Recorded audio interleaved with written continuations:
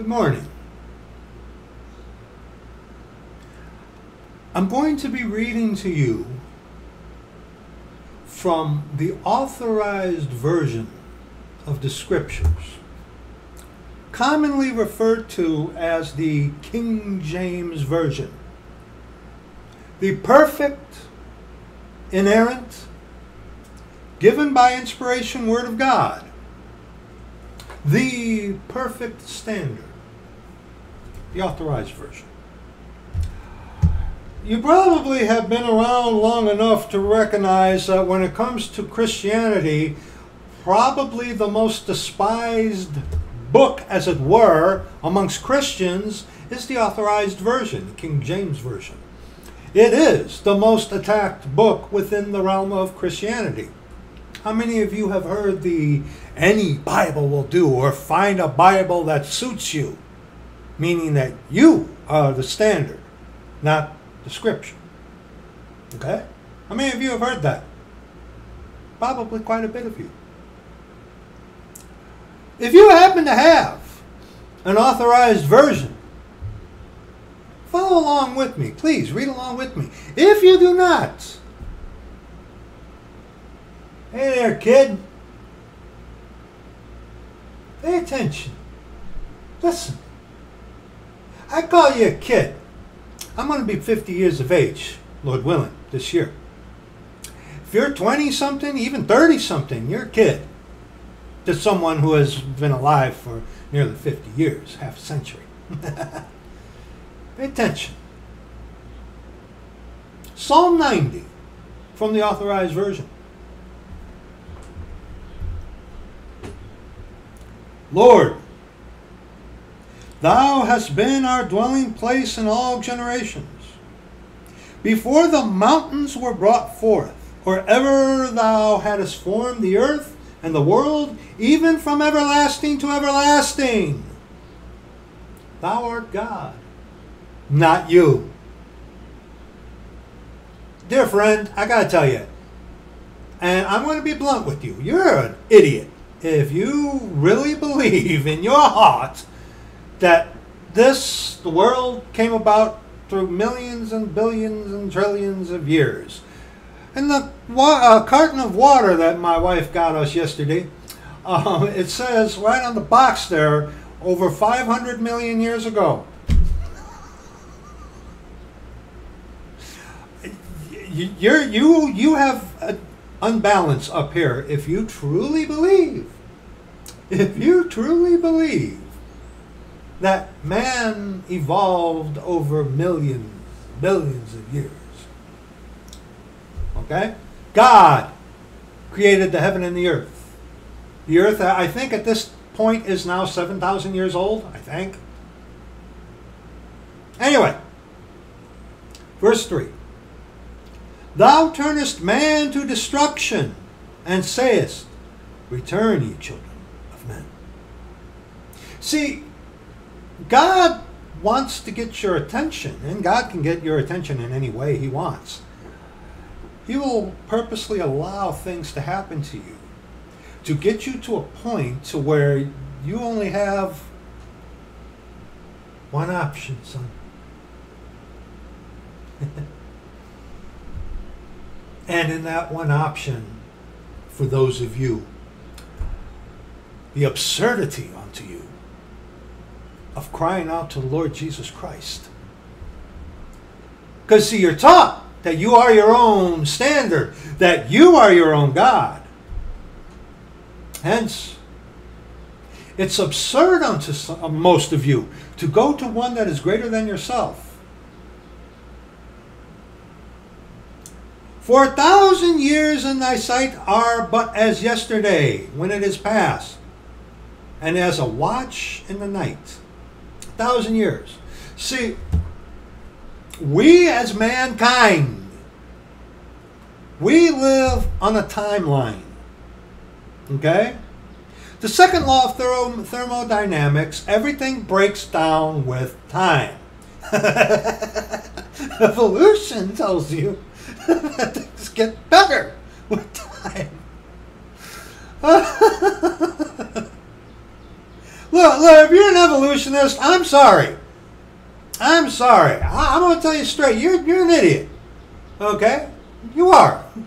If you believe the fairy tale that you evolved over millions and billions of years and that you came from the water as a sniveling piece of snot, I'm sorry. It's, that's stupid. Okay? But see, we as mankind live on this timeline. God the Father, our Creator, the Lord Jesus Christ, lives here. Okay? He's here. Okay? God is not bound by our time. So, literally, a thousand years in light of an eternal being, such as our Father, the Lord Jesus Christ, our God, a thousand years is nothing. Thou carriest them away as with a flood. They are as a sleep. Asleep. A sleep, not asleep. It's the letter A, then sleep, not a sleep. Okay? They are as a sleep. In the morning, they are like grass which groweth up. In the morning it flourisheth and groweth up. In the evening it is cut down and withereth. Hey kid. Ah, I know the vanity of youth. I was once one. I was once a youth. 30 years ago. Think you got time, don't you? You're in good health. Hmm? You look pretty, right? You're a handsome young man or a beautiful young woman. You think you got the time, right? You put it in the file cabinet back there. What, what if you don't have time? Hmm? What if you don't? At any given moment, you can die. What if that were today? Ah, you scoff at it though. That only happens to the other guy. You, you think you're immortal. Come on, it happens to us all. We all, we all, at one point in our life, in our vain shoe of a life, in the morning it flourisheth and groweth up. In the evening it is cut down and withereth. We all think growing up, eh, we're immortal, you know. All that stuff happens to the other guy.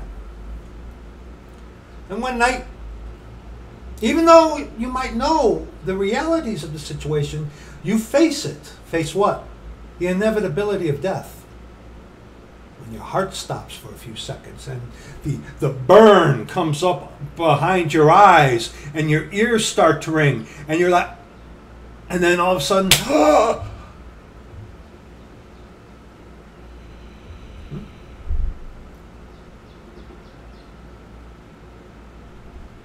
What if you don't have time? You know, you have today. But see, on this day today is a day when you ought to consider where are you going to go? you think you're going to be regurgitated and, or what is it, uh, uh, not reanimated, reincarnated as something else? Woo! In a galaxy far, far away, buddy. Huh? You think you're going to go to purgatory, huh? It's crazy. There's only two destinations for you heaven or hell. What if you don't have what if what if you don't have tomorrow? Hmm? What if you don't have tomorrow? Huh? And, and we are likened on the grass. Grass grows. Grass is growing right now, lush and green. Winter comes and it dies. It comes brown, withers. That's us. That's us, son. Them good looks of yours, boy. Hmm. You can have plastic surgery till you're blue in the face. It's vanity. Girl, them tattoos that you got where you're smacking your gums, chewing that bubble gum, huh? Them tattoos on you, they're going to sag. That barbed wire is going to become a picket fence in a couple years, girl. Hmm?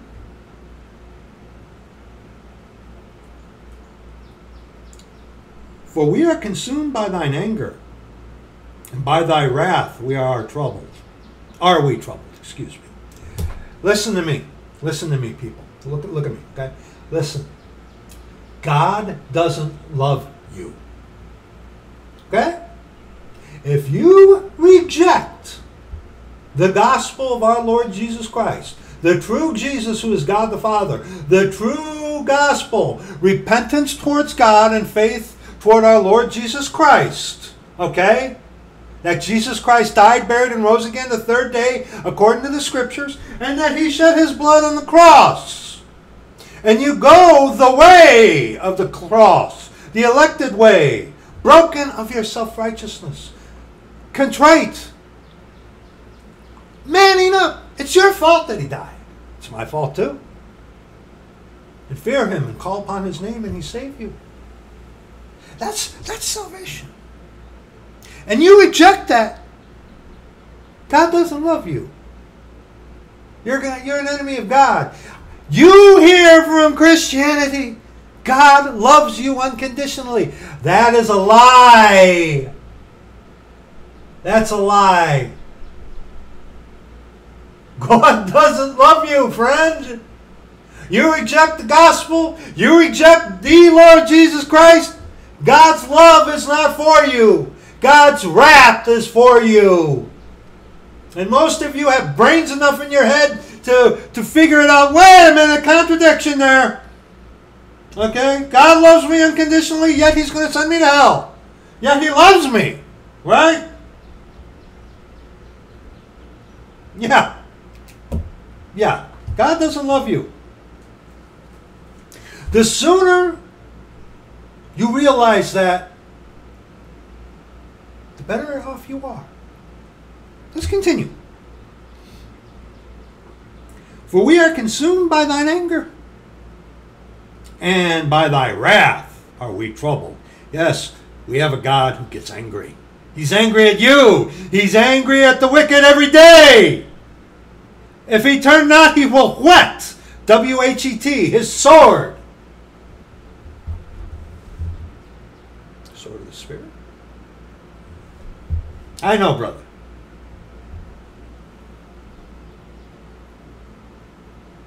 Thou hast set our iniquities before thee, our secret sins in the light of thy countenance. No place for you to hide, boy. Girl, ain't no place for you to hide. You think you're pulling the wool over God the Father. And see, if you don't want to believe the inevitable truth that one day you're going to give an account of yourself before God, that's irrelevant. It doesn't matter. That's what's going to happen. And by the time most of you figure that out, it's going to be too late.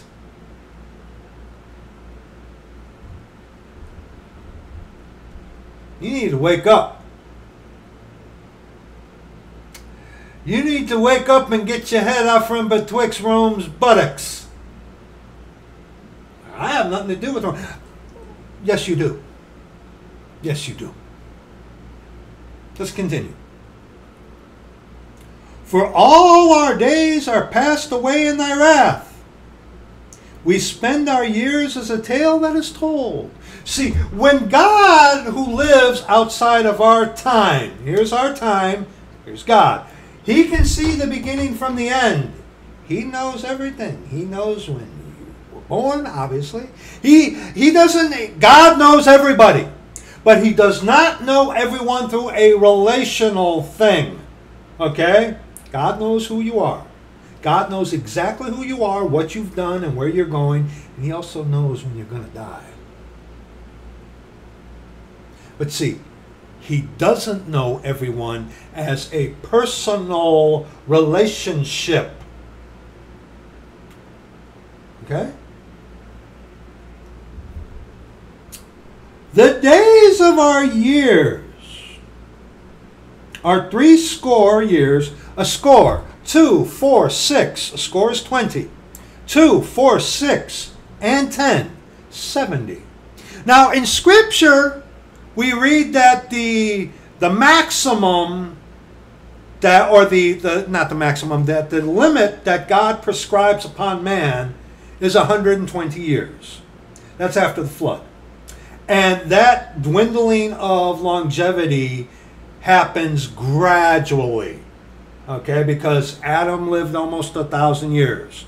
Okay, and then you see mankind going from uh, 900 to 8 to 7 to 6 to, to 5 and so on and so on. Okay, but here it says, the days of our years are three score years and 10. 70. 70. If you've lived 70 years, that's that's a pretty good. It is capable for you to live longer, but what happens?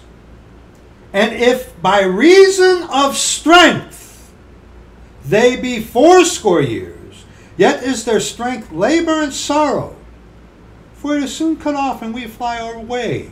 Labor and sorrow.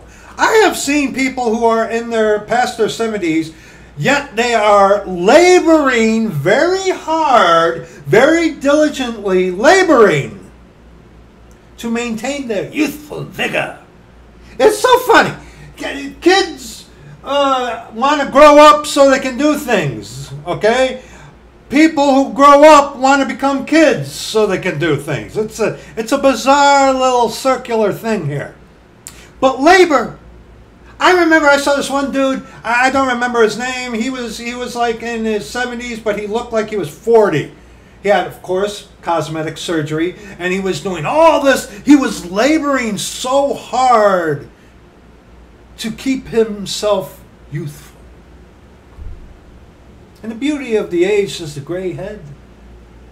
These bodies, which once were designed to be forever, but because of Adam and Eve, they deteriorate. Our bodies, dear friends, are made of dirt. You're dirt. I'm dirt. Ashes to ashes. Dust to dust. From dust thou art, and unto dust thou shalt return.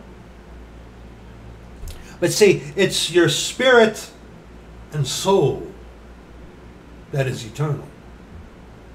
See, man, mankind, that's you and I, that includes woman.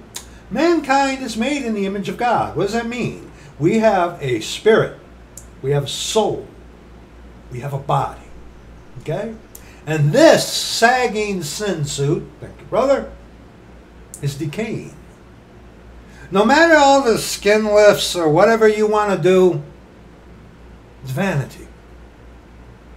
It's vanity. And it's sorrowful to you because why? You're laboring to keep that youthful vigor. But you sorrow because no matter how hard you try, the body just isn't going to cooperate with you. You can be you could be like Dr. Berg, okay? And I wish that man would get saved. You could be like Dr. Berg, who looks great for his age, okay? But still, the body decays. Hence, labor and sorrow.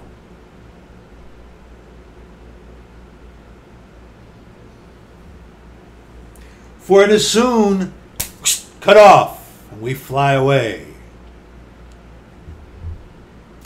Who knoweth the power of thine anger? Even according to thy fear, so is thy wrath. Verse 12. So teach us to number our days that we may apply our hearts unto wisdom. Job 28 28. Like I said, dear friend, if you have an authorized version of the scriptures, follow me along. If not, just pay attention. Job 28 28. And unto man he said, Behold, the fear of the Lord. That is wisdom. And to depart from evil is understanding.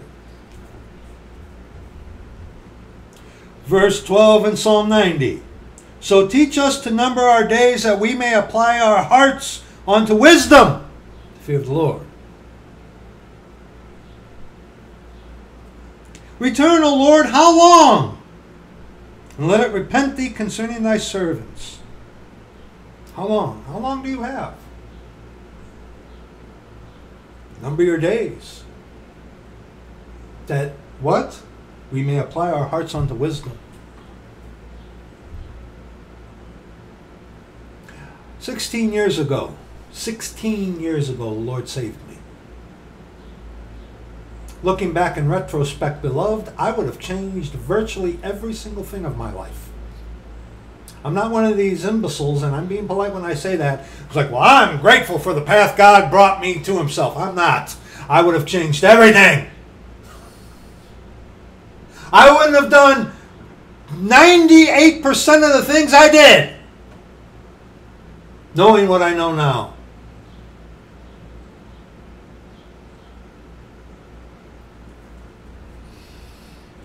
Oh, satisfy us early with thy mercy. You have today, boy. What are you going to do? Stare at yourself in the mirror, huh? Make that crazy little video? Yeah, you look good, boy. Yeah, you look good. Sure. But it's vanity, son. Girl. Oh, satisfy us early with thy mercy, that we may rejoice and be glad all our days. Make us glad according to the days wherein thou hast afflicted us, and the years wherein we have seen evil. To be absent from the body is to be present with the Lord. When I die, I'm going to be with the Lord. All this. What about you? Let thy work appear unto thy servants and thy glory unto their children, the death, burial, and resurrection, the blood shed on the cross for the remission of your sin. It's there for everybody. But guess what? Everybody ain't going to be saved. Beg pardon. Not everybody's going to be saved. God is a God of specificity. God is a God of exclusivity. Okay? God has chosen, God has elected a specific way in which He will save you. It's the way of the cross. And as we have talked at length about, most of you don't want that because it hurts.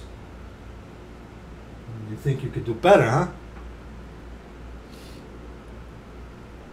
And let the beauty of the Lord our God be upon us, and establish thou the work of our hands upon us. Yea, the work of our hands establish thou it. You reap what you sow, buddy. Yeah. When I was most your ages, in my early 20s, oh man, I was a drug using, sodomite infested, fornicating devil. And hair longer than yours, kid. Hair longer than yours. Ecclesiastes 11. Ecclesiastes 11. We're not addressing the older generation because the, older you get, the harder it gets. The more ingrained you get with your own self delusion, the farther you go, the harder it is for you to turn back. You youngins out there, you 20 somethings, you 30 somethings.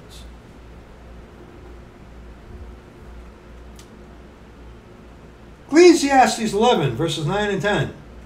Rejoice, O young man, in thy youth. Go ahead. Yeah. And let thy heart cheer thee in the days of thy youth, and walk in the ways of thine heart, and in the sight of thine eyes. And he who trusts in his own heart is a fool. A fool, according to Scripture, according to the Lord. The fool says in his heart there is no God. But see, you guys, there is a God. You call yourself a atheist?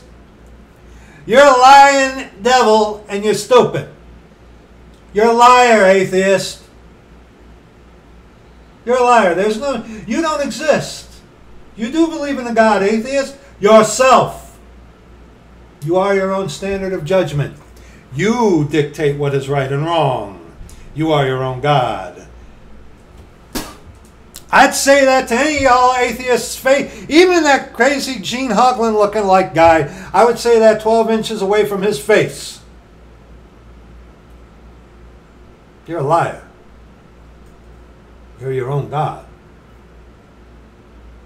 Rejoice, O young man, in thy youth, and let thy heart cheer thee in the days of thy youth, and walk in the way of thine heart, and in the sight of thine eyes. But know thou that for all these things God will bring thee into judgment. Therefore, remove sorrow from thy heart. Yeah, you got to grow up sooner or later, son, girl, brother, sister. Got to grow up sooner or later. That for all these things God will bring thee into judgment. Verse 9, now verse 10. Therefore remove sorrow from thy heart, and put away evil from thy flesh, for childhood and youth are vanity. A fleeting shoe, a fleeting player that dances and struts its stuff upon the stage and then is heard of no more. It is a tale told by an idiot full of sound and fury, signifying nothing. I just botched Macbeth there. A little Shakespeare, beg your pardon. I haven't read Shakespeare in a while, actually. Ecclesiastes 12, 13, and 14. Let us hear the conclusion of the whole matter. Fear God. Keep his commandments. Dispensational difference. You don't have to keep the commandments today to be saved or be right with God. But the point is, let us hear the conclusion of the whole matter. Fear God and keep his commandments, for this is the whole duty of man.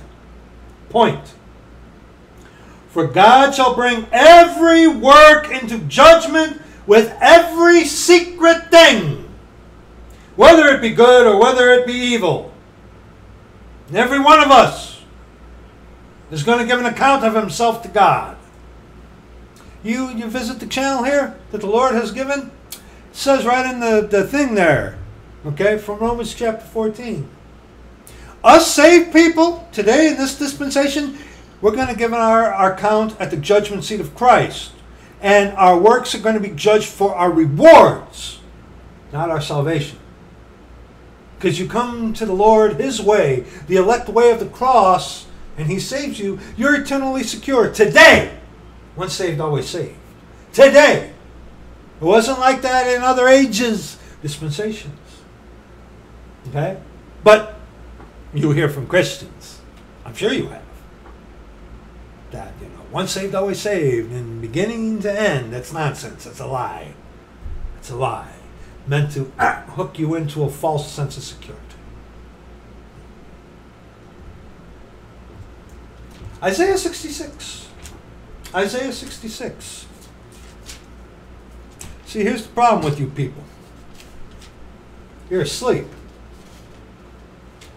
Isaiah 66, verses 1 and verse 4. Thus saith the Lord, The heaven is my throne, and the earth is my footstool. Where is the house that ye build unto me, and where is the place of my rest? And today, today, God does not dwell in temples made with hands. There's a Methodist church building right down the road where it used to have on its marquee, uh, where are you going when you die, directions, come inside, or something like that, meaning that you got to go to a church to find God, a building. That's a lie! That's a lie. That's a Roman Catholic lie. It's not for today. God forbid. For God's sakes, don't go to a church building, people. And those of you curious, you've gone to one of these disgusting phallus houses, you know, the steeple, and you look at these pretentious people. It's like, wait, I'm supposed to find God here, and yet you're talking about the NBA playoffs? I'm supposed I'm I'm here in a place that calls itself God's house, and you're gossiping like little women. And then what happens? Then they start playing their music, right? Clapping the hands and use mind control techniques and sound and visual stimuli, sight of your eyes. Most people get disgusted, and rightfully so, because Christianity is not the truth. It's not the faith that was once delivered unto the saints. And just so you know, dear friend, I'm not a Christian. Okay, I'm not. I'm not. I'm a saint.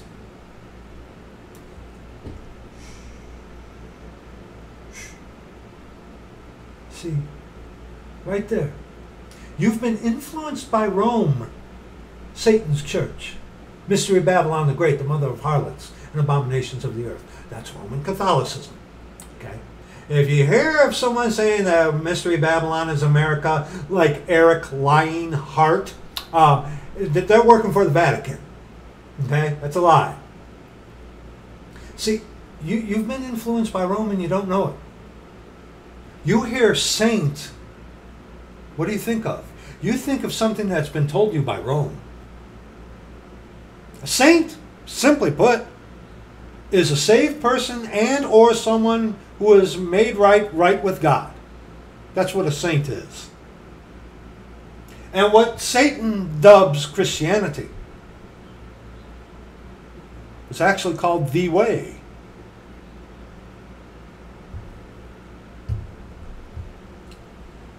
Verse 2 in Isaiah 66 For all those things hath mine hand made, and all those things have been, saith the Lord. But to this man will I look, even to him that is poor and of a contrite spirit, and trembleth at my word. He that killeth an ox is as if he slew a man. He that sacrificeth a lamb as if he cut off a dog's neck. He that offereth an oblation as if he offered swine's blood. He that burneth incense as if he blessed an idol. It's talking about this in this kind of tense because today, in this dispensation or age, these are not things that are required for salvation, salvifically, pertaining to salvation, as they were under the law. You're not going to get that. If you have questions, there will be links in the description box. It's called dispensationalism, rightly dividing the word of truth. You need to realize first, though, dear friend, your situation. Yea, they have chosen their own ways, and their soul delighteth in their abominations. There is a devil out there, I won't name his name, who watched the video that the Lord had me to do addressing him, and his response onto that video, and he never named me. He never named me. But uh, his response was, Yeah, I like my sin. I want my sin. I give credit and respect to someone who at least has the nerve to admit the truth. That doesn't help them at all, mind you. But it's like, okay, you could, you at least have the stones. It's like, yeah, I like my sin. I want my sin. I don't want the true God. Okay, fine. Yeah, roll up another one, buddy. Go ahead and live it up because this is your best life. The life that awaits you is hell. You don't believe in hell? Well, that's too bad. You will. and you scoff. That's what you always say. Hey, hey, don't take my word for it. You'll find out. You'll find out. Eventually, see, you'll find out whether or not you were truly saved. What do I mean by that? There are many out there who think they are saved because they simply, simply one day walking along, they simply believe and then they're saved. With no brokenness of their self righteousness, hiding under an umbrella, taking a veiled form of contrition, meaning, well, we're all sinners. You see, when you pray, these are called easy believists or free gracers. When you confront these people, very little is needed to bring out the true reality of their heart. I'm better than, I'm not as bad as that guy.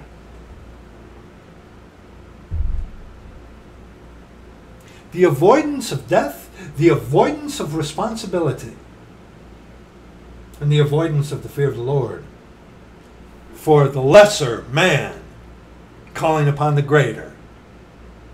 And the majority that we run into as saints, if it's not Catholic, uh, Pentecostal, or whatever, all daughters of the whore, Islam, one of the protected daughters of the whore, most of the times it's easy believism, where you save yourself by your own belief. No brokenness, no contrition, no fear of the Lord. You're the better, calling on the lesser as far as easy, easy believism goes. And because, see, you guys want that, you believe that way. You know, it says here in verse 3 you have, yea, they have chosen their own ways. You are your own God. And their soul delighteth in their abominations. Hey, it's Pride Month. Pride goeth before fall. I'm writing down uh, links for uh, description box. Okay? Verse 4. You want to lie? You want to believe in a lie? God will oblige you. I also will choose their delusions and will bring their fears upon them. Fear of growing old. Labor and sorrow, huh? Put away sorrow from thy flesh, the loss of your youthful vitality. Grow up. I also will choose their delusions and will bring their fears upon them. Because when I called, none did answer. When I spake, they did not hear, but they did evil before mine eyes and chose that in which I delighted not. Yourself. Isaiah 29. Isaiah 29, verses 9 on to verse 12. Isaiah 29 verses 9 on to verse 12. Stay yourselves and wonder. Cry ye out and cry. They're drunken. You're drunken. Not with wine. They stagger, but not with strong drink. For the Lord hath poured out upon you the Spirit of deep sleep. We're gonna we're gonna touch on this next here pretty quick. Sleep. Sleep. Deep sleep. Stay yourselves, verse 9. Stay yourselves and wonder. Cry ye out and cry. They are drunken, but not with wine. They stagger, but not with strong drink. How many of you have been drunk before?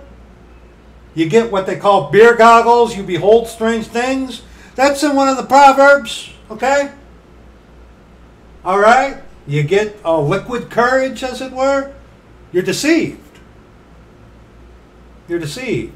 Because you delight not in the things that our Lord Jesus Christ, God our Father, wants but delight in your own sin and take pleasure in your abominations, the Lord obliges you. It's like, okay, you don't want the truth? Go ahead. Go ahead. Live it up, boy. Go right ahead. Roll up another one.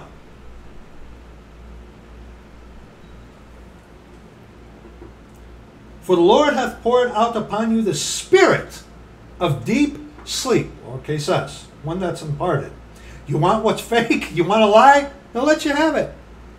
And this is one of the ways, one of the definitions of sleep according to Scripture.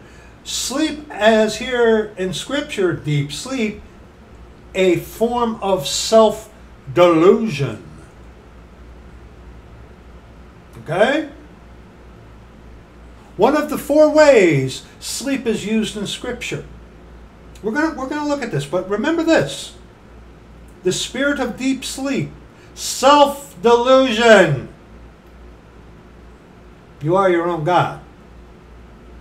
Bravo, buddy. For the Lord hath poured out upon you the spirit of deep sleep, and hath closed your eyes. The prophets and your rulers, the seers, hath he covered. Why? Because you believe in your own heart that you're your own God.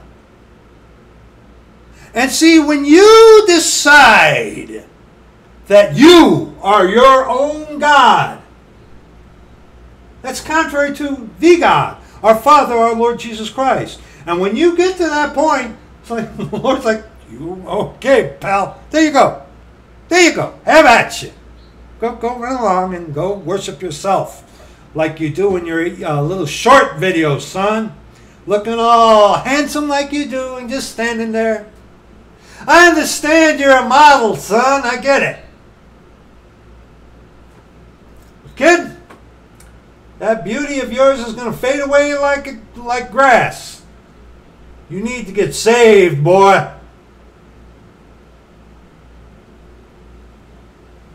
Your Shintoism is a lie.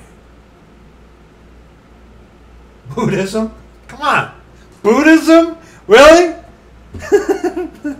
I, I mean, by the definition of Buddhism, it's all about self.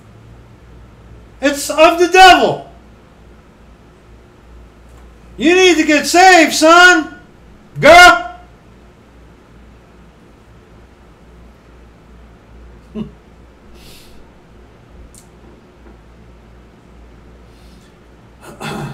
I just lost my place. Excuse me, okay?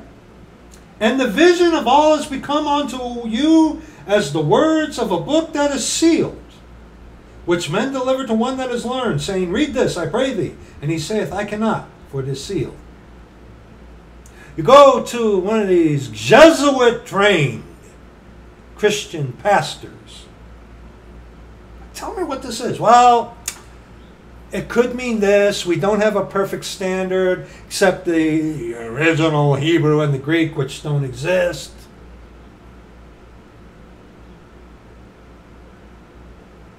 but you don't go to the Lord.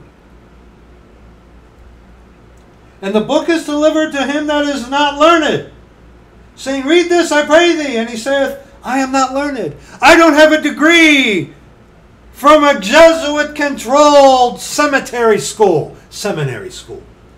Which here in America, at least, in order to be in one of them phallus houses, you have to have their credentials, a hundred thousand dollar piece of paper on your wall, and that's all they care about. I remember way back when people were denied, even though they had the skills required for the job, they didn't have a certain literal, literal piece of paper. And they were denied because of that, even though they had the qualifications to the T for the job. But they were denied because they didn't have the piece of paper. So the piece of paper holds more weight than the skill. Like here in America, jobs will be given to those to certain peoples because of ethnicity rather than qualification. Oh boy! Oh, I just said it, didn't I? Yes, I did. Yes, I did. And incidentally, dear friend, you mentioned white privilege. Well, I, I but where, I, I, where was it? Where's that? Where is that? Excuse me. Thank you very little. Where, where, where is that white privilege that you talk about? Give me a break. Give me a break. Give me a break. Second Thessalonians chapter 2, verses 10 on to verse 12. Second Thessalonians. Second Thessalonians. Somebody got to tell you like it is. If you're you're offended, take offense and a gate. Don't let it hit you in the buttocks on the way out. Second Thessalonians chapter 2, verses 10 on verse 12. And with all deceivableness of unrighteousness in them that perish, because they receive not the love of the truth that they might be saved.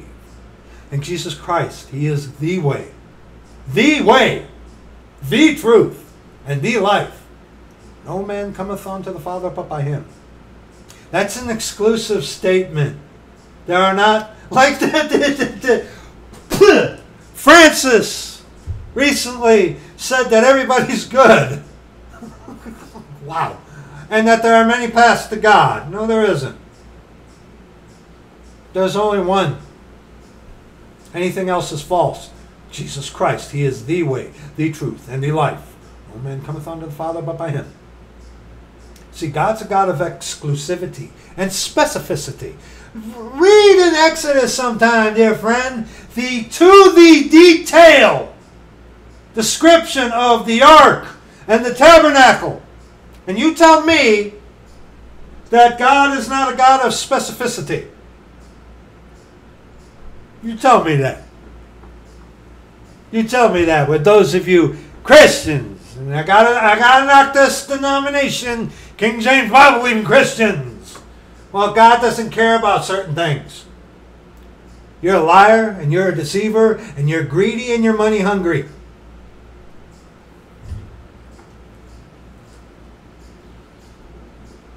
And for this cause, you don't love the truth. You haven't received the love of the truth. You don't want the truth, but you want to believe in a lie?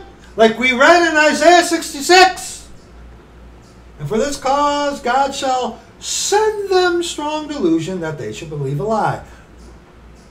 And what's the biggest lie of all time? Ye shall be as gods, knowing good and evil. No one's answered that question. Not even heretics. What's a bigger lie than you are your own God? What's a bigger lie than that?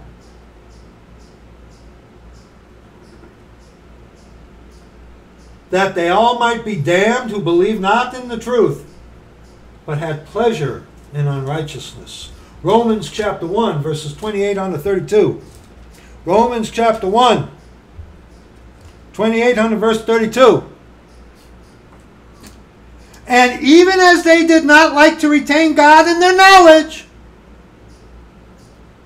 God gave them over to a reprobate mind to do those things which are not convenient. And there are those out there who will tell you that being given over to a reprobate mind means that you are unsavable. That's a lie. That's a lie. Uh, Steven Anderson, if you haven't heard of him, great. The closet sodomite Steven Anderson, okay? A King James Bible believer. A man who would tell you this is the perfect inerrant, given by inspiration word of God. He's against the redemption of the purchased possession. He's against rightly dividing the word of truth. He stand, he says that America is Babylon. Okay? He stands for all the major doctrines of Rome. Okay? He's a sodomite. And I'd say he'd, he'd blow me away with his AK 47, and he could probably beat me up. But he, I'd say that 12 inches from his face, Steven Anderson. I would. I'd say that 12 inches from his face. You're a lying sodomite. And you're working for the Vatican, Steven Anderson. But see, he'll propose that like for you. Hey, today, hey, it's Pride Month, isn't it? He says that you sodomites can't be saved. That's a lie. I once was one myself.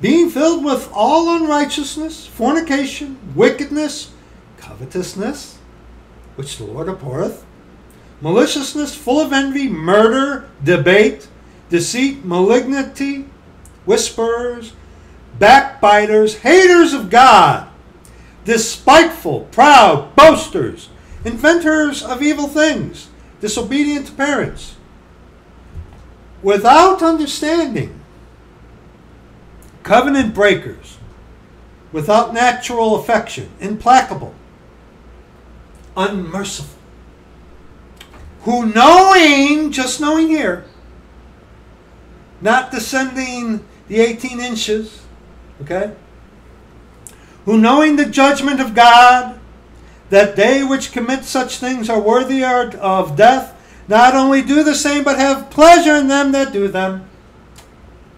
Misery loves company. Romans 13. Romans 13.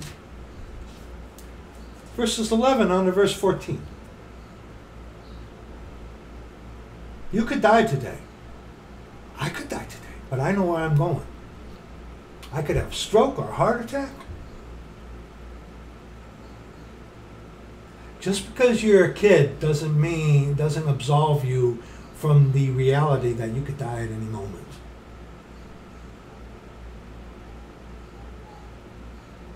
Romans 13, 11 on to verse 14. Sleep. See, the Lord hath poured out upon many of you the spirit of deep sleep, a form of self delusion, because you receive not the love of the truth, but love your sin.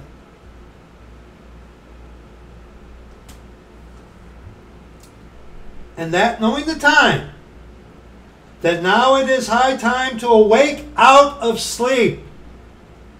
For now is our salvation nearer than when we believe. We in context is referring to we saved people.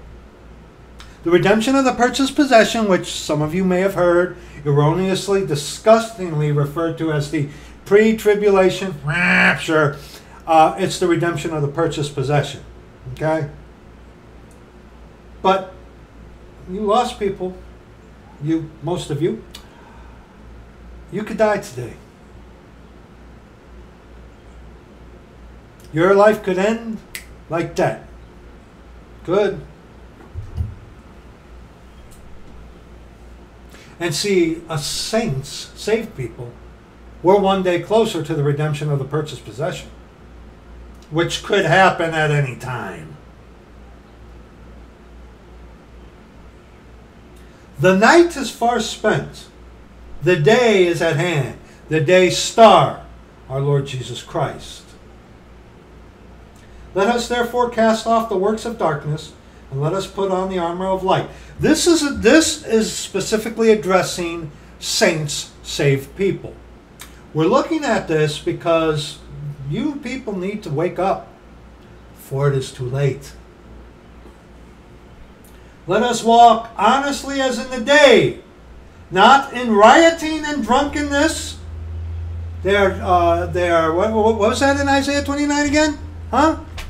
Isaiah 29 again? Verses 9 uh, where was that? Isaiah 29? Isaiah 29? Verse 9 Stay yourselves and wonder. Cry ye out and cry. They are drunken, but not with wine. They stagger, but not with strong drink. For the Lord hath poured out upon you the spirit of deep sleep, self delusion, and hath closed your eyes. And the prophets and your rulers, the seers, hath he covered. It's not that he did that contrary to your free will.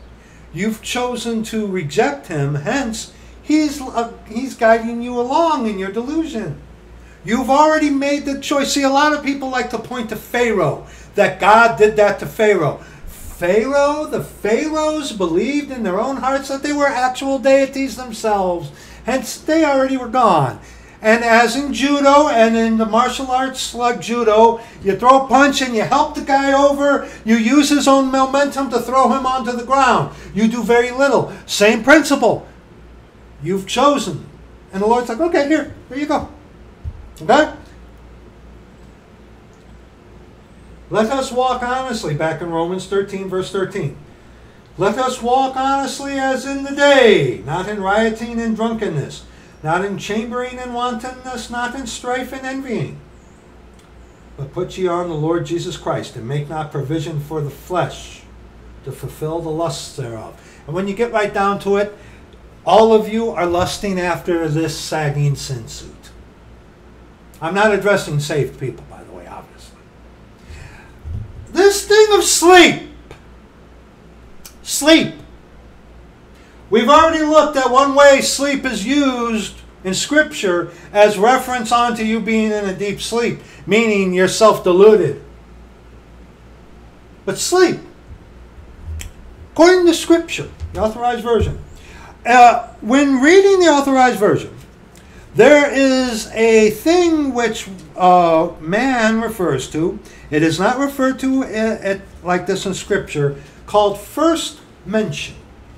First mention. And yes, you devil heretic, first mention is not mentioned in Scripture. You're right.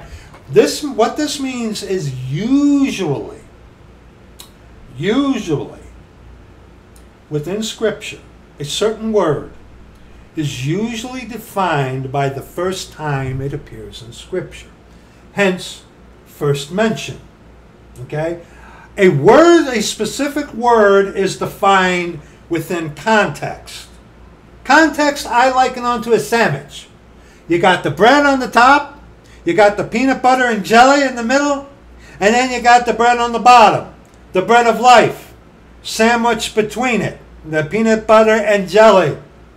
Okay, sandwich between the bread of life. But context, you got bread, peanut butter and jelly, and then bread.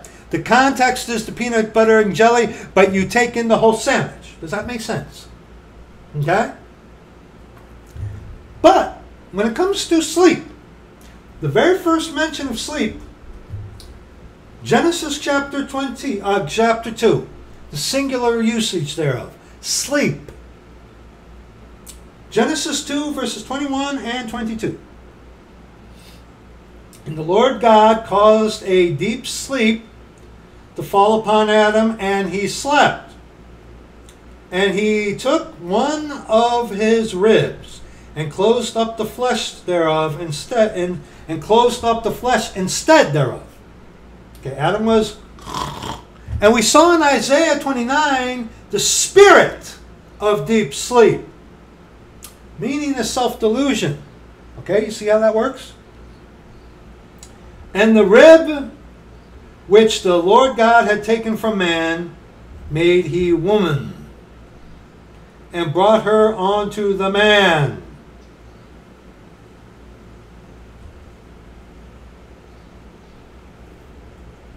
Hey, woman, you were made for man. Man wasn't made for you. And it's so ironic today, especially here in America, with this ridiculous woke thing. And this has been pointed out by lost people. Feminists who stick up for the right of the woman are being overrun by men pretending to be women.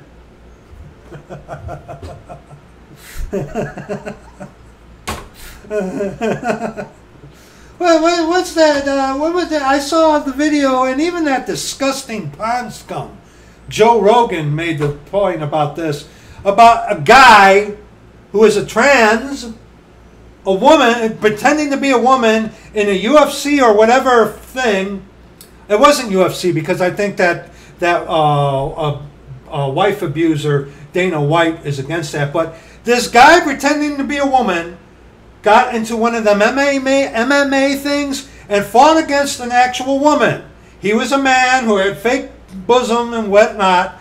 And this woman, a manly looking woman, beat the snot out of that guy and he just shrugged it off. And she beat him so much to where she exhausted himself herself and the guy pretending to be a woman got her in a rear naked choke and submitted her. It's, it's, it's an irony that feminism is now being dominated by men pretending to be women.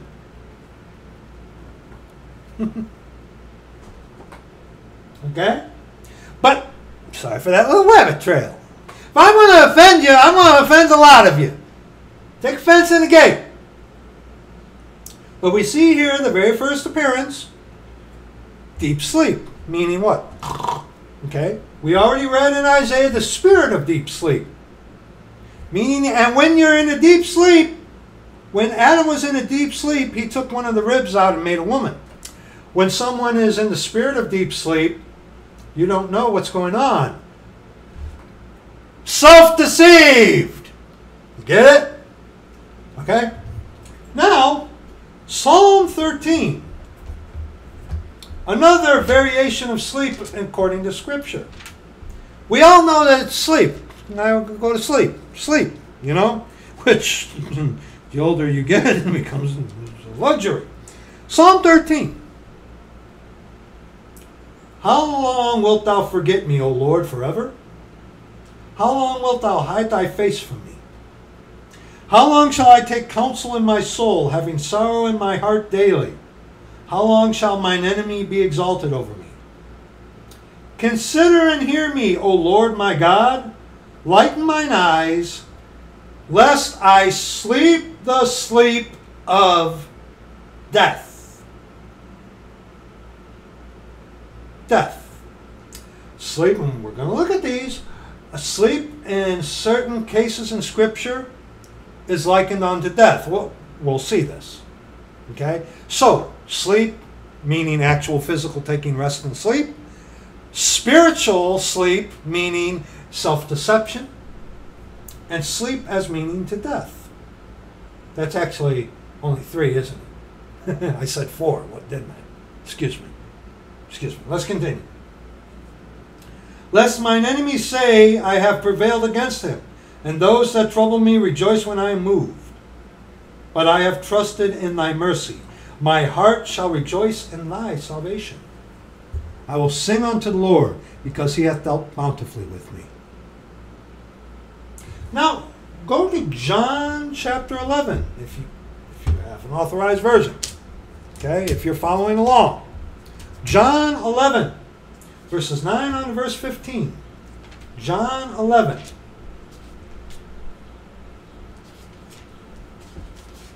Yes, I said there are four ways. It's, uh, it's actually three. Excuse me. Excuse me. John 11, verses 9 on to verse 15. Jesus answered, Are there not twelve hours in the day? If any man walk in the day, he stumbleth not, because he seeth the light of this world. But if a man walk in the night, he stumbleth, because there is no light in him. These things said he, and after that he saith unto them, Our friend Lazarus sleepeth, but I go that I may awake him out of sleep. Then said his disciples, Lord, if he sleep, he shall do well. Howbeit, self defines itself. Howbeit Jesus spake of his death, but they thought that he had spoken of taking a rest and sleep.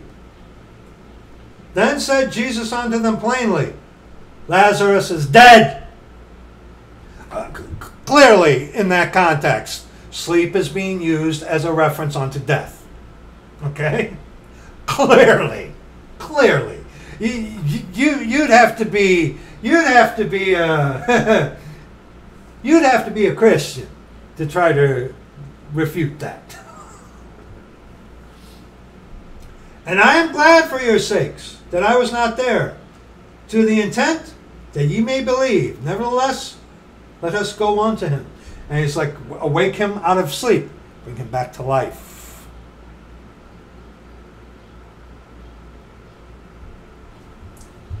Acts 7. Acts 7. Verses 59 on to 60. Okay? Showing you again, and like I said, it was, I said, I made an error, I made a mistake. I said that there were four ways. It's three. Okay? Actual sleep, the sleep of death, and spirit of sleep, meaning self deception. Three, not four. Excuse me for saying that. Acts chapter 7, verses 59 on to 60, the last two verses of the chapter. And they stoned Stephen, calling upon God, and saying, Lord Jesus, receive my spirit. And he kneeled down and cried with a loud voice, Lord, lay not this sin to their charge. And when he had said this, he fell asleep. Asleep. Meaning he died. Okay? So, three not four, excuse me. Three, spirit of sleep, self deception, actual sleep rest. Sleep meaning death.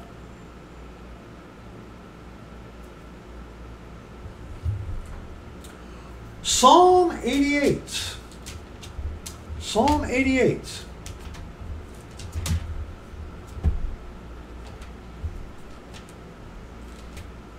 Psalm 88. O Lord God of my salvation, I have cried day and night before thee. Let my prayer come before thee. Incline thine ear unto my cry. For my soul is full of troubles, and my life draweth nigh unto the grave. I am counted with them that go down to the pit. I am as a man that hath no strength, free among the dead. Hmm. Dead. Dead, dead, dead. Have no life. Right? Right. Absolutely. But also, there is another form of being dead, talked about in Scripture. Dead in trespasses and sins. Where there is no law, there is no transgression. Until you know that thou shalt not kill, hey, what's wrong with killing, right? Until you learn that thou shalt not covet, you do what George Carlin says. Leave coveting alone, it creates jobs. But God abhorreth the covetous. Hmm. You understand what I'm saying? So, free among the dead, dead in trespasses and sins. Now, this is talking about, you know, a different context, but remember, there's death, you're dead. There's a spiritual death, dead in trespasses and sins. You have no life. Free among the dead, like the slain that lie in the grave whom thou rememberest no more, and they are cut off from thy hand. Hey, you are your own God? Huh? You're dead. You're dead. Revelation chapter 3. Hold your place there. Check this out. Revelation chapter 3. And the thing about the book of Revelation you have to understand. The book of Revelation is not for us doctrinally today. There are things that pertain for instruction in righteousness. Okay? But doctrinally, it is not for us today. Okay, you got to remember that. And the book of Revelation is chronological. Someone who tells you otherwise is trying to justify a man's doctrine and not the scripture. Remember that, King James Bible believing Christian. Please. Revelation chapter 3, verses 1 and verse 6. And unto the angel of the church in Sardis write, These things saith he that hath the seven spirits of God. Ooh, ooh, seven spirits. Seven spirits. Thank you, brother. Your pardon. Seven spirits of God. And the seven stars. I know thy works, that thou hast a name, that thou livest, and art dead.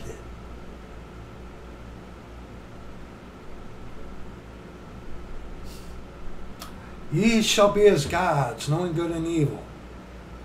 Thou shalt not surely die. For in the day you eat, ye eat thereof, meaning doing what God said not to do, then your eyes shall be open, and ye shall be as gods, knowing good and evil. That's Genesis 3. Go find it. See, because you do contrary to God, you think you have life, but you're dead. You're dead in trespasses and sins. You have a name that you live, but you're actually dead. Be watchful and strengthen the things which remain that are ready to die, for I have not found thy works perfect. For I have not found thy works perfect before God. Remember therefore how thou hast received and heard, and hold fast and repent.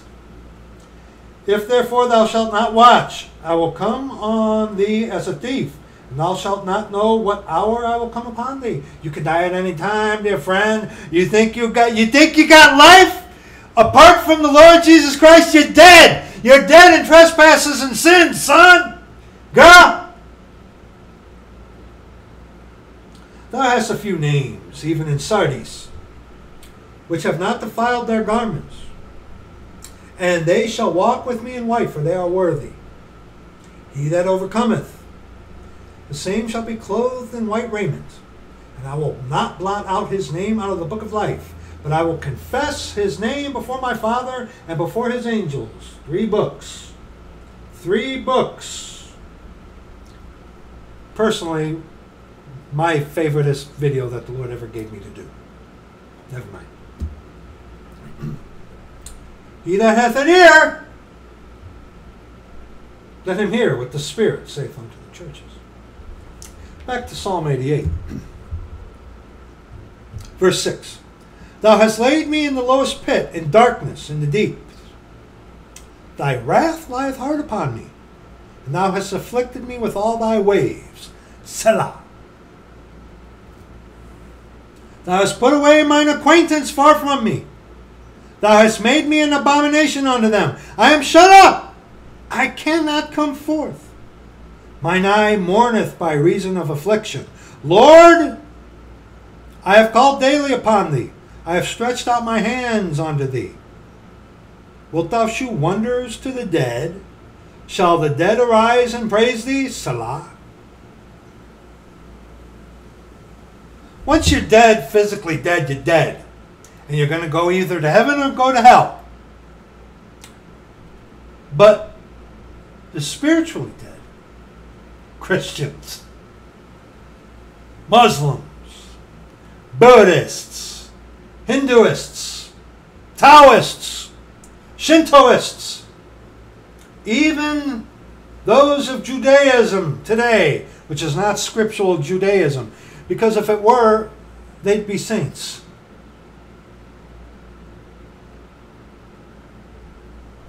Shall thy loving kindness be declared in the grave, or thy faithfulness in destruction?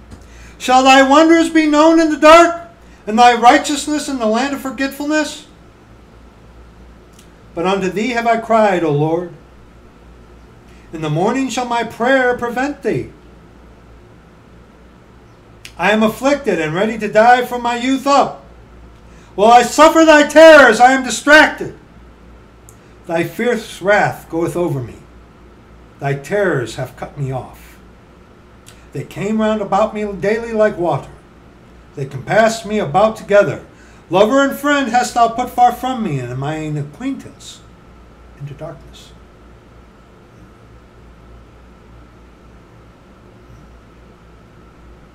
See, when the Lord is drawing you to Himself, like a bone, meat on the bone, shaving things off. So, see, because the God of Scripture puts His finger on that one thing, the one thing you lack. And He hammers it home, boy. He sure does. Ecclesiastes 9. Some of you who are being led, unto the Lord, you might be knowing that. Hmm? Ecclesiastes 9, verses 1 on to verse 6. For all this I considered in my heart, even to declare all this, that the righteous and the wise and their works are in the hand of God. No man knoweth either love or hatred by all that is before them. All things come alike to all. There is one event to the righteous and to the wicked, to the good and to the clean, and to the unclean, to him that sacrificeth and to him that sacrificeth not. As is the good, so is the sinner. And he that sweareth is he that feareth an oath. There is one event to the righteous and to the wicked. There's one event that we all have in common. What's that? And unto men it is appointed once to die, and after this, and after that, excuse me, the judgment.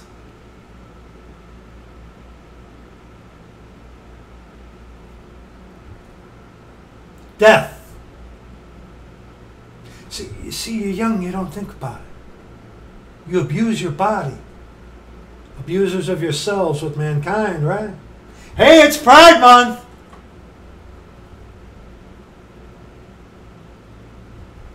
But every one of us is going to give an account of himself to God. You're going to die.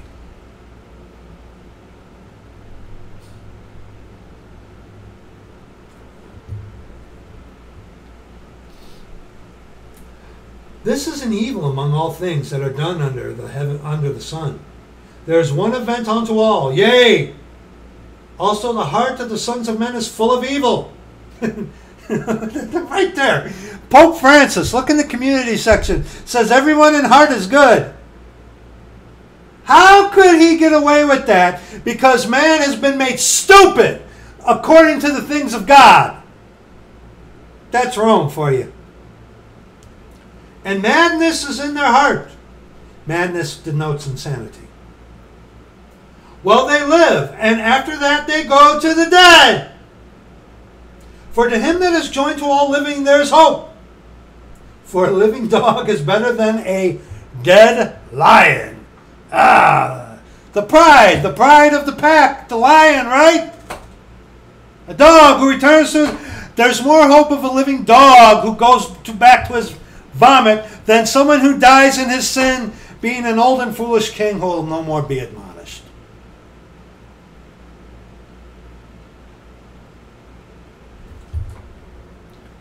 You're, you're not going to escape this, kid. You're not. you imbecile, self theist. Your belief is irrelevant. You'll find out before it's too late, hopefully. And if not, it will be too late.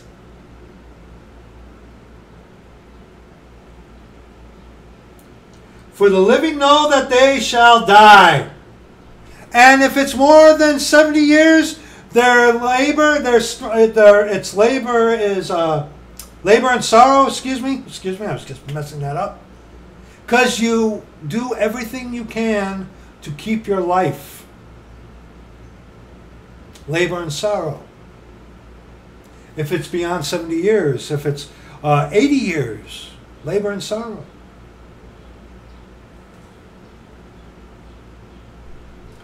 For the living know that they shall die, but the dead know not anything. Oh! When you're dead, it's over. But the spiritual dead know not anything. He- hello! hello! Look at Christianity. Look at religion, people. The dead know not anything. That, that's a reference onto those that are actually dead. But spiritually dead, they don't, they don't know anything. You Christians, you've been saved for 25 years, and yet you don't know about rightly dividing the word of truth. You're against the redemption of the purchased possession. You believe that America is Babylon? And you, and you believe that uh, you got to forgive in order to be forgiven. It's like, dude, dude.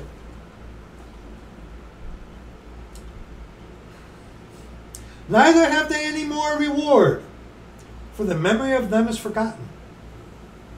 Also, their love and their hatred and their envy is now perished. Neither have they any more portion forever in anything that is done under the sun.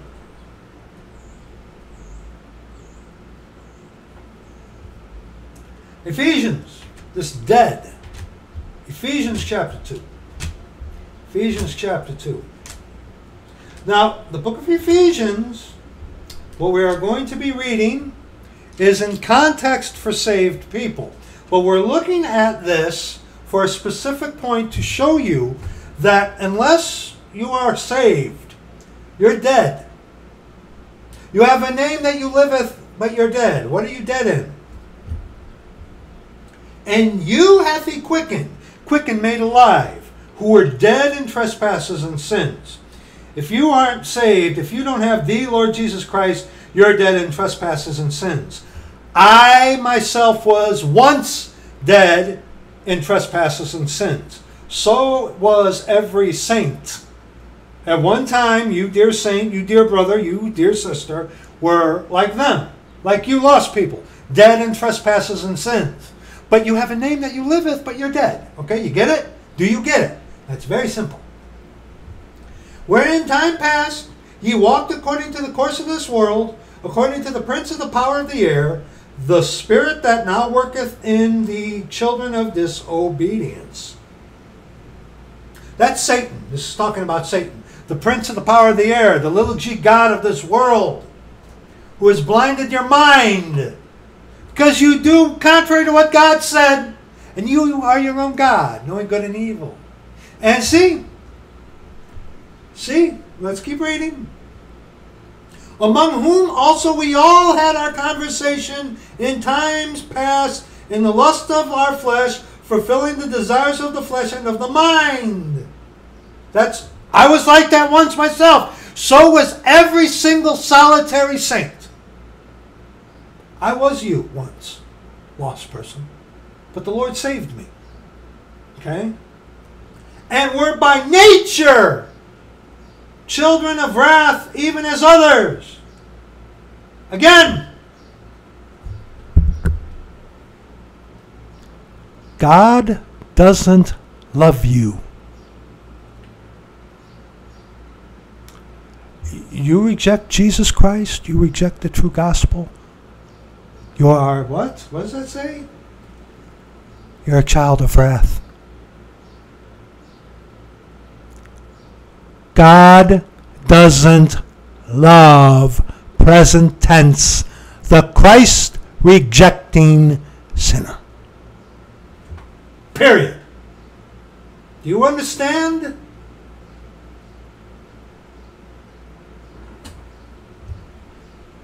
But God, who is rich in mercy, for his great love wherewith he, past tense, loved us John 3.16 is not the gospel, by the way. How many of you, how many of you lost people have heard, uh, well, the gospel is John 3.16?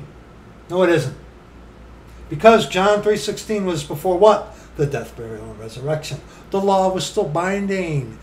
In the description box, there will be a lot of videos for you if you want more information. Okay? Let's continue. Even when we were dead in sins, hath quickened us together with Christ. By grace ye are saved. This is talking about us saved people now. Okay? You're lost, you're dead in trespasses and sins. By grace ye are saved. And hath raised us up together and made us sit together in heavenly places in Christ Jesus. Our destination is fixed. Once saved, always saved. Eternally secure. Okay? That in the ages to come, he might shew the exceeding riches of his grace in his kindness toward us through Christ Jesus. For by grace are ye saved through faith, and that not of yourselves. It is the gift of God, not of works, the works of the law, lest any man should boast. For we are his workmanship, created in Christ Jesus unto good works which God hath before ordained that we should walk in them. And Colossians 2, Colossians 2, oops, Colossians 2 verses 13 on to verse 15. And you, Oscar, being dead in your sins the uncircumcision of your flesh. And when the Lord saves you, he seals you with himself. That's the circumcision made without hands. Circumcision is not a requirement salvifically today to the Jew and also to the Gentile. Okay?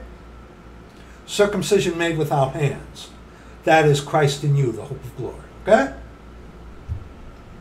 And you being dead in your sins and this uncircumcision of your flesh hath he quickened together with him, having forgiven you all trespasses, blotting out the handwriting of ordinances that was against us, which was contrary to us, and took it out of the way, nailing it to his cross. Meaning, the law. The law is right and good. The law, you know, the Ten Commandments, those are God's perfect requirements. However, you figure out sooner or later that at your best state, you can never keep the law. See, the Ten Commandments, the law was there to show you that you are inept, that you are inadequate in and of yourself to keep per- perfectly God's perfect requirements. The only one who did that was Jesus Christ himself. You know, Jesus Christ is come in the flesh. He is God the Father. He is the only one who could keep his commandments perfectly. Jesus Christ never sinned. The law was there to show you that you couldn't, at your best, keep the Ten Commandments. You say you do this one, but you break that one, you've messed up the whole thing. See, that's the purpose of the law, to show you your inadequacy. Okay? And having spoiled principalities and powers, he made a show of them openly, triumphing over them in it. Jesus Christ, He is the way, the truth, and the life. No man cometh unto the Father but by him. Psalm 115. Psalm 115. Psalm 115.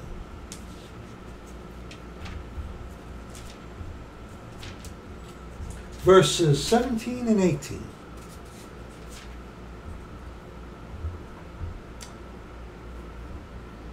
The dead praise not the Lord. Now look at this.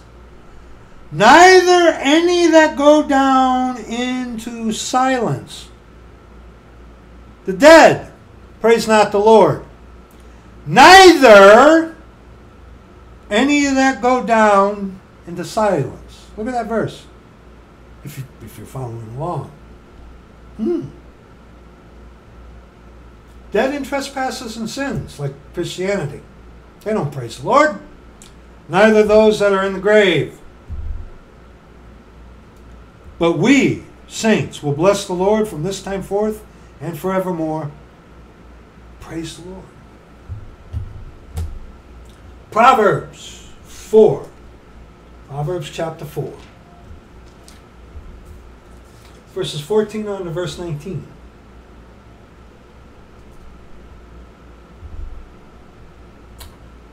Enter not into the path of the wicked, and go not in the way of evil men. Avoid it. Pass not by it. Turn from it and pass away. For they sleep not, except they have done mischief. What kind of sleep is this talking about? This kind of sleep. Because there are devils out there who are up at every waking hour of the day to cause strife, division, and to attack the saints. For they sleep not, except they have done mischief, and their sleep is taken away unless they cause some to fall. For they eat the bread of wickedness and drink the wine of violence bread of wickedness. Roman Catholicism tells you that a perfectly round cookie shaped after the sun, Roman Catholicism is modern Baal worship. They say that the bread, the Jesuit priest does, abracadabra, hocus pocus, woody woody, and they turn this into the actual Jesus Christ, right? Bread of wickedness, and the wine which the Jesuit priest the cup, you know, woody, woody, woody, hocus pocus, abracadabra, turns the wine into the blood of Christ. Okay? For they eat the bread of wickedness and drink the wine of violence. But the path of the just is as the shining light that shineth more and more unto the perfect day. The day star arrive in your hearts. The Lord Jesus Christ. The way of the wicked is as darkness. They know not at what they stum at what they stumble. Why? Because they they have the spirit of deep sleep. You have the spirit of deep sleep upon you, dear friend. Oh, but Proverbs chapter 6 now. Proverbs chapter 6. Verses 4 on to verse 11. Give not sleep to thine eyes, nor slumber to thine eyelids. Deliver thyself as a roe from the hand of the hunter, and as a bird from the hand of the fowler. Hold your place here and go to 1 Peter chapter 5, the hunter. What was that? That Bjork woman? Girl? did that I am the hunter. Yeah. I'm not talking about the hunter from England either, the Jesuit provincial that he is. Oh, uh, where is that? Um, yes. 1 Peter chapter 5, verses 8 on to verse 9. Be sober, be vigilant, because your adversary the devil, as a roaring lion, as a roaring lion walketh about seeking whom he may devour, whom resist steadfast in the faith, knowing that the same afflictions are accomplished in your brethren that are in the world. Back to Proverbs 6, verse 6. Go to the ant, thou sluggard, consider her ways and be wise. Oh, I got time, huh? You got time, right? Huh? What if you don't? What if you don't? Boy? Girl? Which having no guide, overseer, or ruler, provideth her meat in the summer, and gathereth her food in the harvest. How long wilt thou sleep, O sluggard? When wilt thou arise out of thy sleep? Hmm.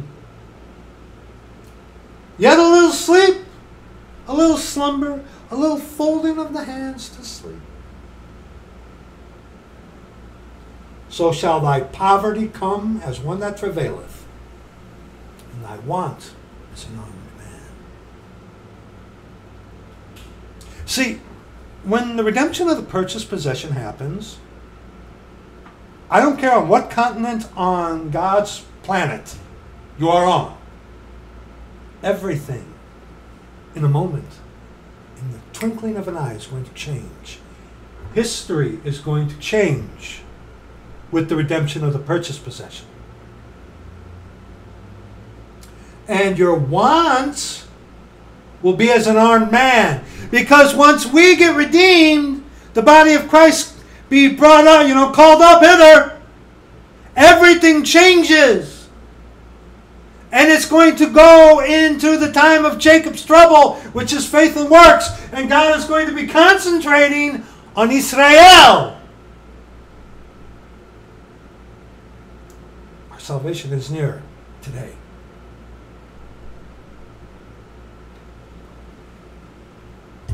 Proverbs 19,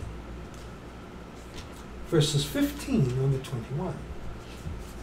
Proverbs 15, uh, 19, verses 15 on to 21.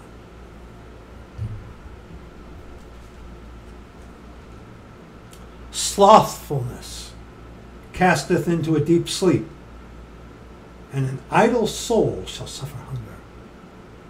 It's hard. It hurts going the way of the cross. That's why so many of you are, if you're offered, hey, just believe and receive, there's no death in that. There's no pain in just believe and receive. You can just magically believe and save yourself and go on and live like a devil. But see, when someone who has half a brain, like some self theists and Muslims, it's like, whoa, whoa, whoa, whoa, whoa, whoa, wait a minute. That doesn't make sense. okay? Just save yourself? Wait a second. But yet, so just because you save yourself by your own belief, so that justifies you living like one of them? He that keepeth the commandment keepeth his own soul. He that despiseth his ways shall die. This is what is referred to as a dispensational difference. Okay? You are not keeping your own soul today. The Lord is the one who keeps your soul today if you go the way of the cross. Okay? This was written under law where eternal security was not there. We're reading this to instruct you in righteousness. Okay? He that keepeth the commandment keepeth his own soul, but he that despiseth his way shall die.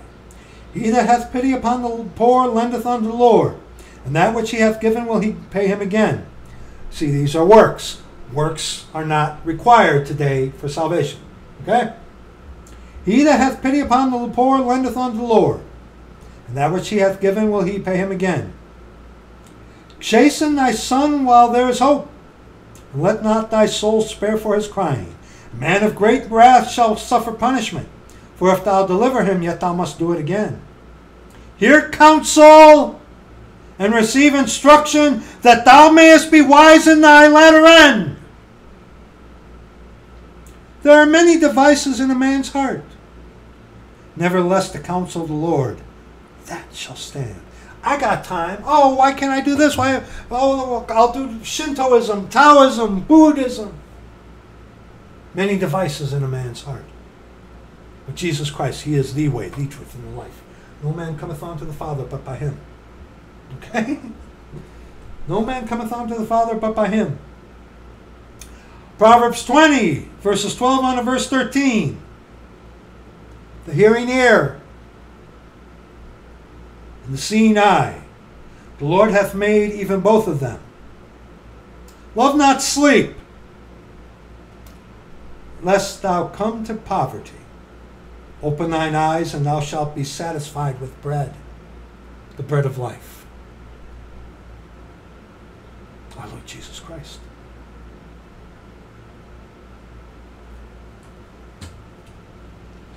Matthew chapter 26.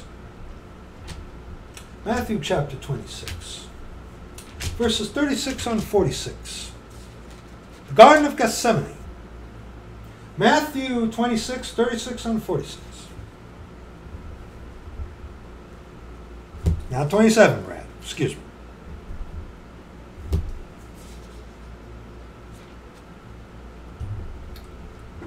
Then cometh Jesus with them unto a place called Gethsemane and saith unto the disciples, Sit ye here while I go and pray yonder.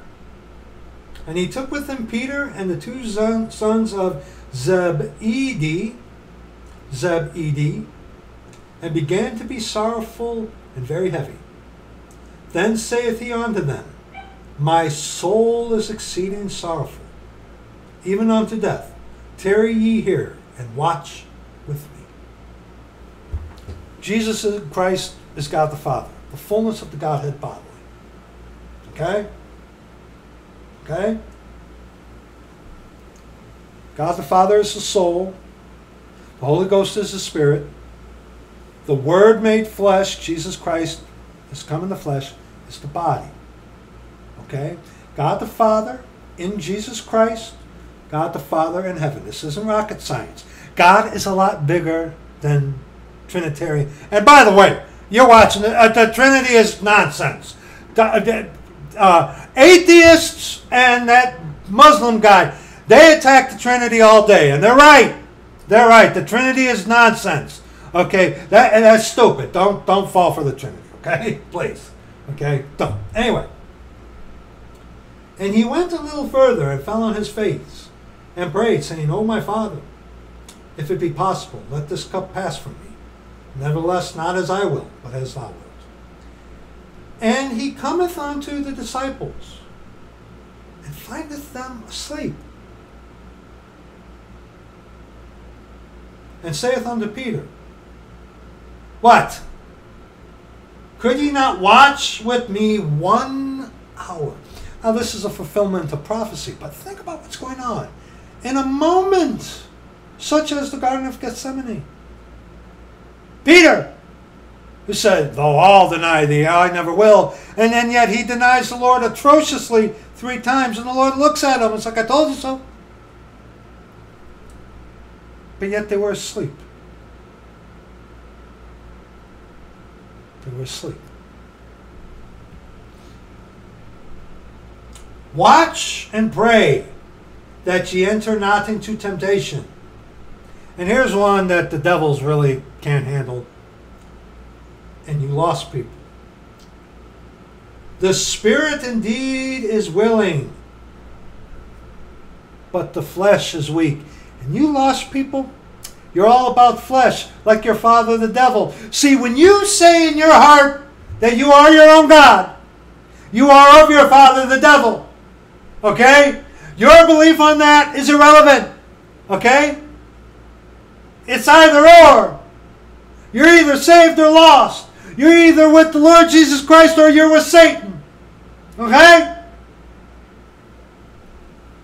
He went away again the second time and prayed, saying, "O my Father, if this cup may if this cup may not pass away from me, except I drink it, I will be done." And he came and found them asleep again, for their eyes were heavy. And he left them and went again away again and prayed the third time, saying the same words. Then cometh he to his disciples, and saith unto them, Sleep on now, and take your rest. Sleeping during a moment when they should be praying. Sleeping when all things were about to come to pass.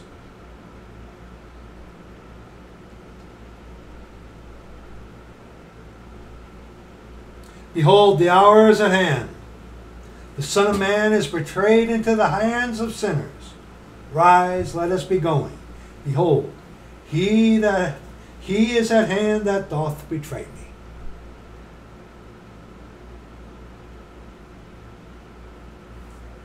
See, when the redemption of the purchased possession happens, dear friend, I don't care on what continent on earth you are on, everything changes like that. And I believe you're going to feel it. Because the body of Christ is gone. He who now letteth will let until he be taken out of the way.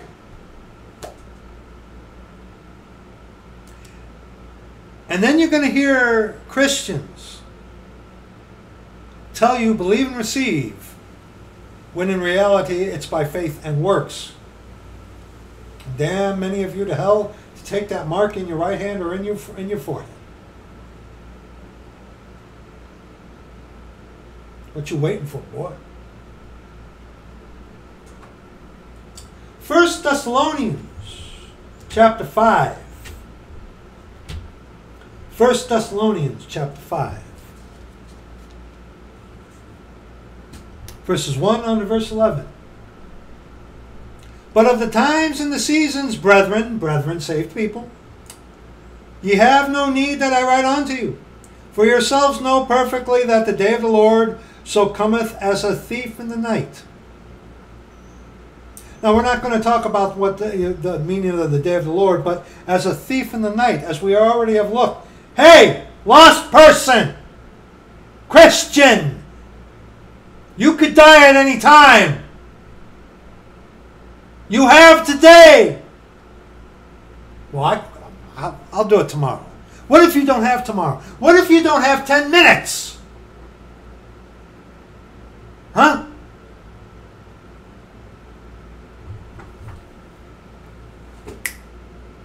Comes like that. Could.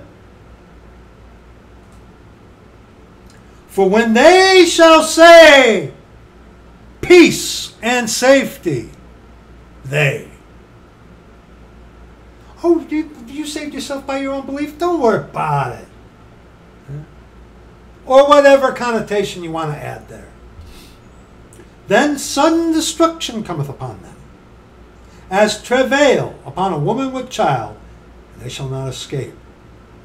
When the Lord come knocking on that door, and your time is up,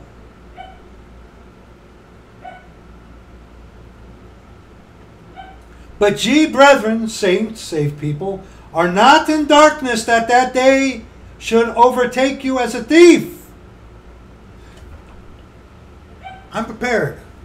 The actual going through the motions of dying, the heart stopping or whatever, that that's a, but the actual after death A saint has nothing to worry about. Why? Because to be absent from the body is to be present with the Lord. When I die, this sagging sin suit dies, I'm going to go be with the Lord. As it is appointed on the men once to die, and after that the judgment. Okay? When I die, I'm going to be in heaven with the Lord. You're lost. You're not saved. You die, you go into hell.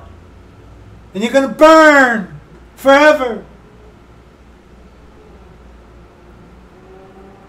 Ye are all the children of light, saved people, and the children of the day. We are not of the night, nor of darkness. Therefore, let us not sleep as do others, but let us watch and be sober. What kind of sleep is being referenced there? I'll let you figure that one out. For they that sleep, sleep in the night, and they that be drunken are drunken in the night. Well, no one's looking. Uh, who's going to know? Little's unhurt? The holy place there in Colossians chapter 2, verse 8. Beware lest any man spoil you through philosophy and vain deceit, after the tradition of men, after the rudiments of the world, and not after Christ. But let us, who are of the days, saved people, be sober, putting on the breastplate of faith and love, and for an helmet, the hope of salvation. And Jesus Christ is our hope. Okay? We, according to Scripture, know that we are saved, eternally secure.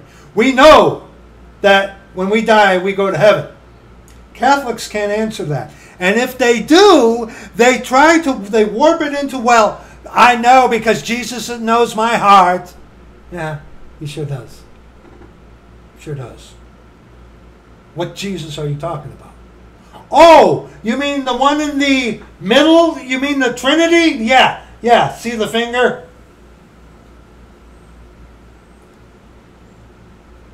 For God hath not appointed us to wrath, saved people.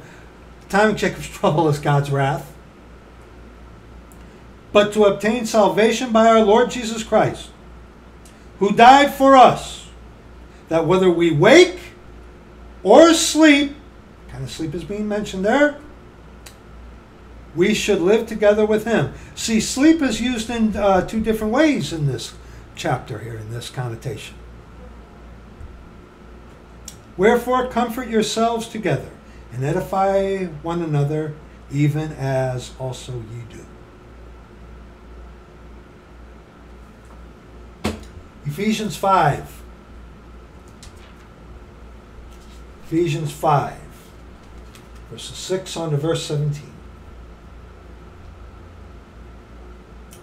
Let no man deceive you with vain words. For because of these things cometh the wrath of God upon the children of disobedience. God doesn't love you. God does not, present tense, love the Christ rejecting sinner.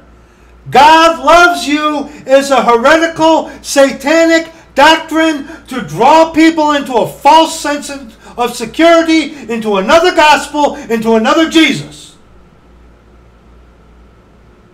You reject Jesus Christ, you reject the true gospel, God doesn't love you. God does not love you unconditionally. You go the way of the cross and he saves you, yes. But you reject him. His love is not for you. His love's at his love's at the cross. The way he's elected. That's the way you gotta go. And yeah, it hurts. Quit your whining and go there. But see, see, he doesn't force you to go that way. You got to make the right decisions. And most of you have decided, I don't want that. Because it hurts. Tough guy?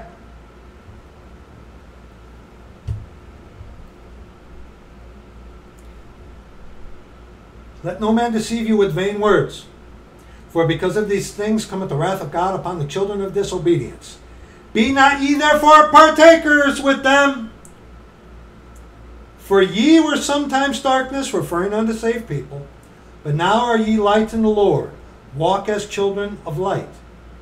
For the fruit of the capitalist spirit, that means the Lord Himself, is in all goodness and righteousness and truth, proving what is acceptable unto Lord. And have no fellowship with the unfruitful works of darkness, but rather reprove them. For it is a shame even to speak of those things which are done of them in secret. But all things that are reproved are made manifest by the light. For whatsoever doth make manifest is light. Our Lord Jesus Christ. Wherefore he saith, Awake, thou that sleepeth, sleepest, excuse me, and arise from the dead, and Christ shall give thee light. Make the right decision. You don't save yourself. But see, unlike what Calvinists tell you, God doesn't hold a gun to your head forcing you to make the right decision. Nor does the devil hold a gun to your head forcing you to make the wrong decision. See, because if God decided your salvation for you, you'd be a machine, you'd be a robot. And it doesn't work that way. It doesn't work that way. Okay? See then that ye walk circumspectly, not as fools who say in their heart there is no God, but as wise, redeeming the time, because the days are evil. Wherefore be ye not unwise, but understanding what the will of the Lord is. 1 Timothy chapter 2, verses 3 on to verse 6. For this is good and acceptable in the sight of God our Savior, who will have all men to be saved. He will. He wants everyone to be saved. But not everybody is going to be saved because God has elected a way, the way of the cross, which is death. You want the Lord? Want to be right with God? You want the Lord to save you? You got to go the way He's elected. You don't boot the door and climb up some other way, which Christianity offers you in abundance. And so does every other daughter of the whore, like Islam and Taoism, Buddhism, whatever you want to call it. For this is good and acceptable in the sight of God our Savior, who will have all men to be saved and come unto the knowledge of the truth. For there is one God, one mediator between God and men, the man, Christ Jesus, who gave himself a ransom for all to be testified in due time. And this does not mean that everyone is going to be saved. Okay, like I said, there'll be quite a few uh, links for you in the description box to consider. Okay, if you have any questions. Okay, here's something that you have to get through your head. You need a Savior. Romans chapter 3, verses 10 on verse 18. As it is written, there is none righteous, no, not one. That includes you. All your Taoism, Shintoism, Islam, whatever, Catholic, whatever. Baptist, Pentecostal, Can you King Bible Christian. There is none that understandeth. There is none that seeketh after God. They are all gone out of the way. They are together become unprofitable. There is none that doeth good. No, not one. That includes you. Their throat is an open sepulchre. With their tongues they have used deceit. The poison of asps is under their lips whose mouth is full of cursing and bitterness. Their feet are swift to shed blood. Destruction and misery are in their ways. In the way of peace have they not known. Why? There's no fear of God before their eyes. Your answer is the Lord Jesus Christ, God our Father, the way of the cross, the death, burial, and resurrection, and the blood that he shed for the remission of your sins. I didn't ask him to do that. That doesn't matter. See, God would be cruel if he didn't give you a way out. He has given you a way. The way! But see, that way is death. The cross. Cross is death, dear friend. That's the way you got to go.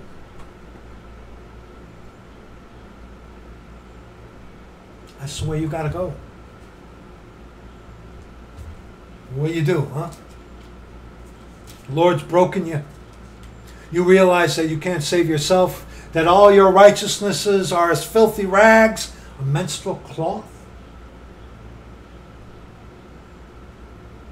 Romans chapter 10. Romans chapter 10, verses 1 and verse 13. Brethren, my heart's desire and prayer to God for Israel is that they might be saved. For I bear them record that they have a zeal of God, but not according to knowledge. For they, being ignorant of God's righteousness and going about to establish their own righteousness, have not submitted, themselves unto the righteousness of God. And see, for you, what does this mean? You're looking to establish your own righteousness because you follow the Tao or Shintoism or Buddhism, the religion of self. You're elect. You had the cookie. See, see, you're trying to establish your own righteousness, not going after the righteousness of God which is Christ crucified.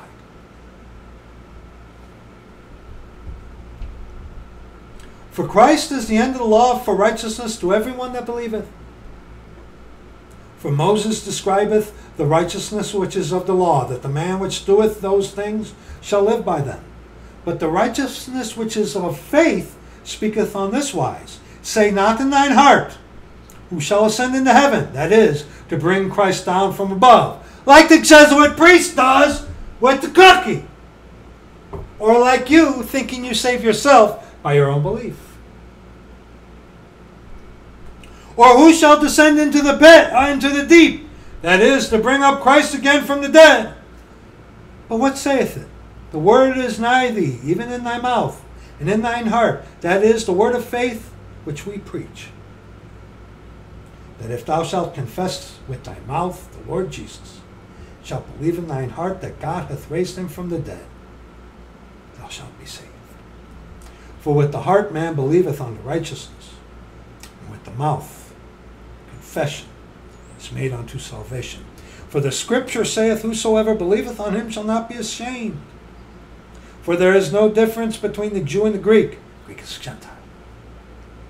For the same Lord over all is rich unto all that call upon him For whosoever shall call upon the name of the Lord shall be saved. And see, if you do that apart from what we read in Romans chapter 3, being broken of your self righteousness, thinking that you're self righteous. I called on the name of the Lord a thousand times and I was never saved because you were never broken.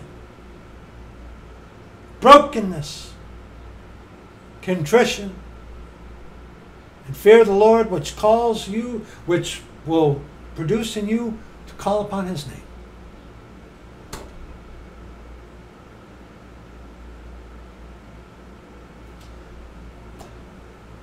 That's going to be it for this little video. Come, let us reason together, you and I. If you have questions, links in the description box. Because, son, what if today is your day? What if today's your day and you and the Lord guided you to see this video? He's like, I'm not gonna, I'm not gonna trust that stupid Japhethite. Don't. What saith the scripture?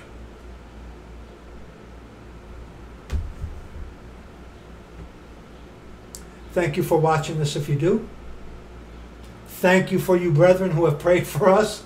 We love you. Thank you very kindly. This has been a real trying past couple past week was really trying for us. Thank you.